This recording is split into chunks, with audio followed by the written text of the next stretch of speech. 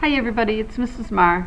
Uh, we're going to start doing the initial steps, the armature step of the mask making process. And at this point, people should have a good idea of who their character is going to be, um, what kind of role that person has, or person, object, animal, whatever. Um, real or fictitious. You can totally make it up. It can be, you know, an alien from Mars. It doesn't really matter. But um, you should have a good sense of that and have already done your sketch. So now we're talking about the armature, and that's the first step that we're going to do. This will probably maybe take a first day. You might get to roll out the slab. Uh, but basically, this is not going to be the mask. And it doesn't have to, I have an example that's a face mold right here, but it doesn't have to be. And as a matter of fact, it should not even look like a distant relative of this when you're done with it. So the armature is how you're going to change that. A couple of things that are part of the criteria for this assignment are that you're going to alter the proportions of the face or the features of the face and that there are things that stick out.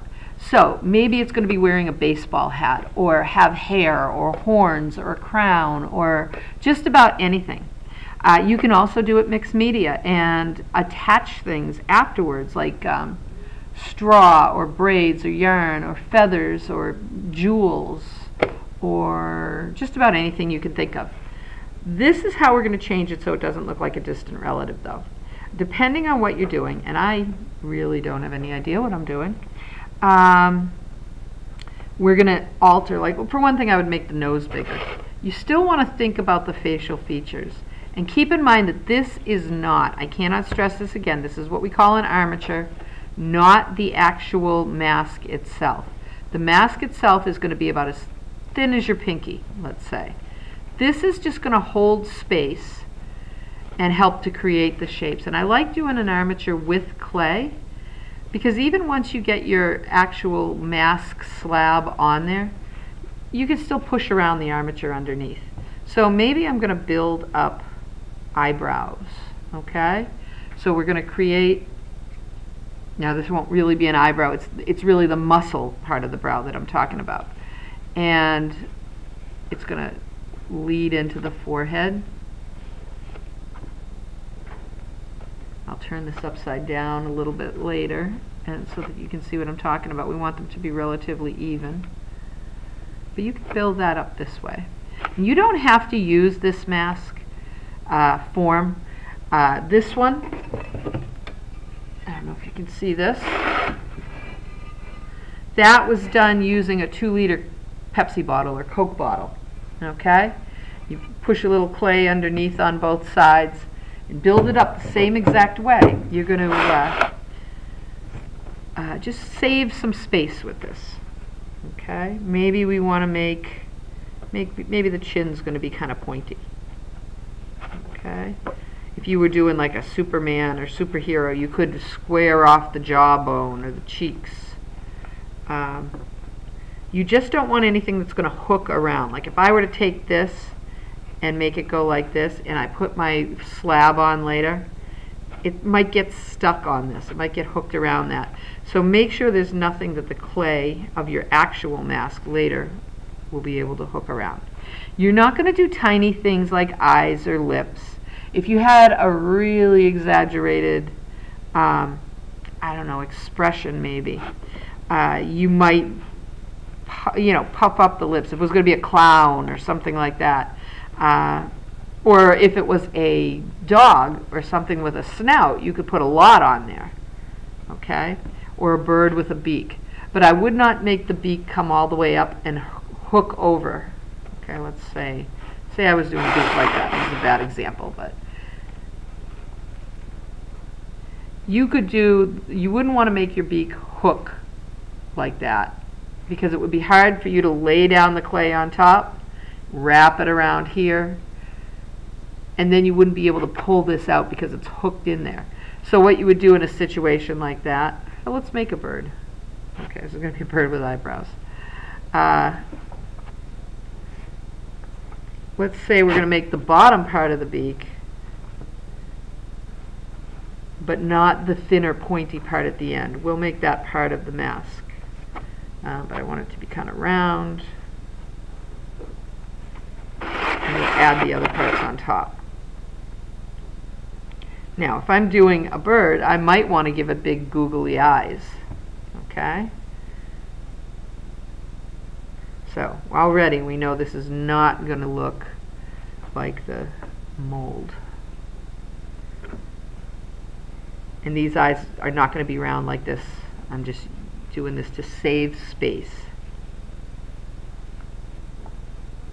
Okay, maybe the eyes are going to point out on the sides of the head a little bit.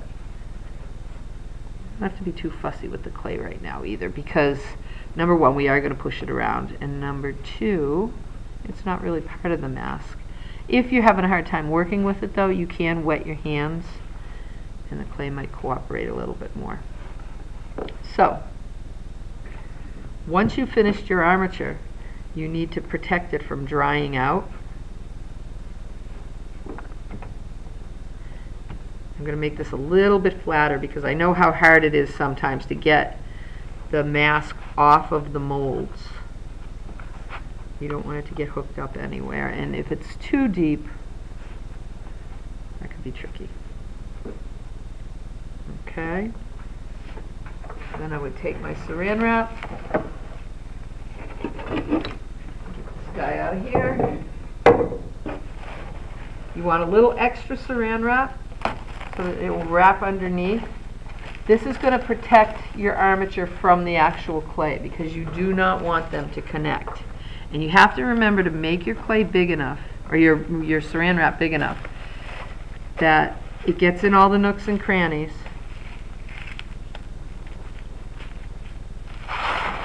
and do this. Okay? And still goes all the way around and is underneath. Okay? That is an armature. It's not going to make as much sense to you now as after we do the next step. We're going to use the slab technique. And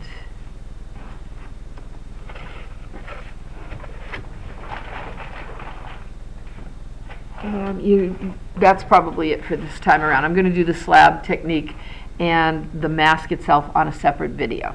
Okay? So, first day, when you come in in person, you're going to have your sketch, any reference materials, all figured out. You're going to know exactly what you're going to do.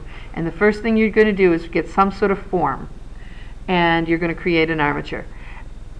If you think you want something long and narrow, bring in a, uh, you know, a two liter bottle of soda. Um, make sure you have the cap on it because you want the air to stay inside and keep it firm. Okay?